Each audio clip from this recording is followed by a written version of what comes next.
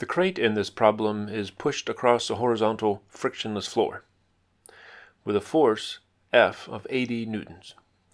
We're told that it slides a distance 11 meters in 5 seconds. And we're asked to find its mass m. Let's start doing this by drawing a free body diagram of the crate. There are three forces acting on it. First, there's its weight, mg, which acts straight down.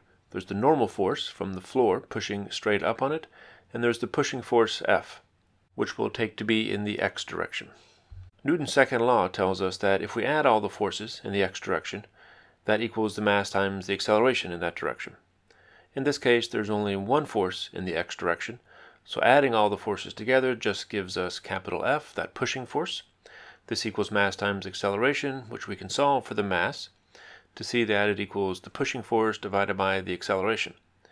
At this point we could substitute numbers. We know the force, except that we don't know the acceleration. So we need to find that, which we can do using kinematics.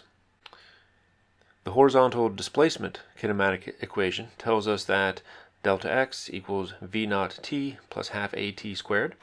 The crate starts from rest so that v naught is 0. We can solve this for the acceleration now. It equals twice the displacement divided by time squared.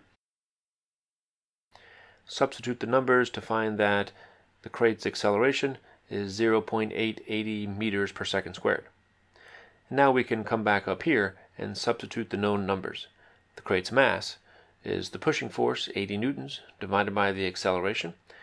And when you calculate, you find that it equals 90.9 kilograms.